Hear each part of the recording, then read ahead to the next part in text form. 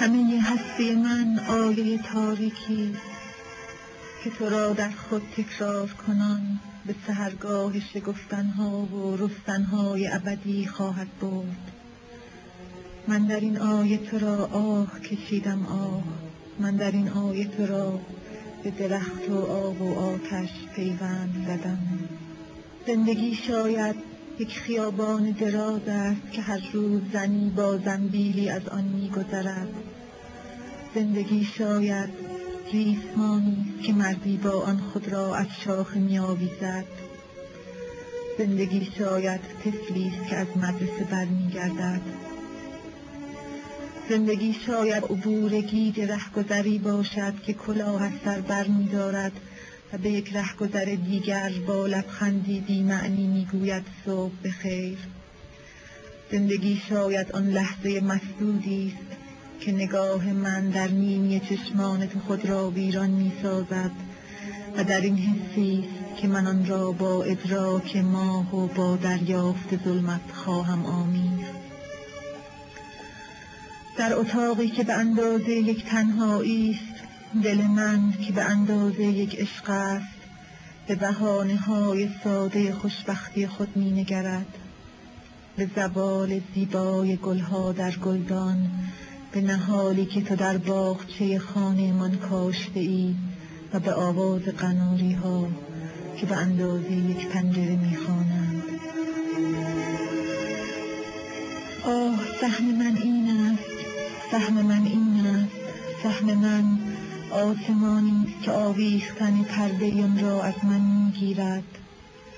سهم من پایین رفتن از یک پله متروک است و به چیزی در پوسیدگی و غربت واصل گشتن. سهم من گردش حزن آلودی در باغ خاطرها و در اندوه صدایی جان دادن که به من می‌گوید دستهایت را دوست میدارم. دستهایم را در باغچه میکارم؟ سبز خواهم شد می‌دانم می‌دانم می‌دانم. و پرستوها در گودی انگشتان جوهریم تخم خواهند گذاشت. گوشواری به دو گوشم می آویزم از دو گیلاس سرخ همزاد. و به ناخونهایم برگ گل کوکب می چسبانم کوچه هست که در آنجا پسرانی که به من عاشق بودند هنوز با همان موهای در هم و گردنهای باریک و پاهای لاغر به تبسمهای معصوم دخترکی می اندیشند که یک شب او را باز با خود برد. کوچه ای هست که قلب من آن را از محله های کودکیم دزدیده است. سفر حتمی در خط زمان و به حجمی خط خشک زمان را آبستن کردن. حجمی از تصویری آگاه که ز مهمانی یک آینه برمیگردد و بدین سان است که کسی میمیرد و کسی میماند. هیچ سیادی در جوی حقیری که به گودالی میریزد مرواریدی سید نخواهد کرد.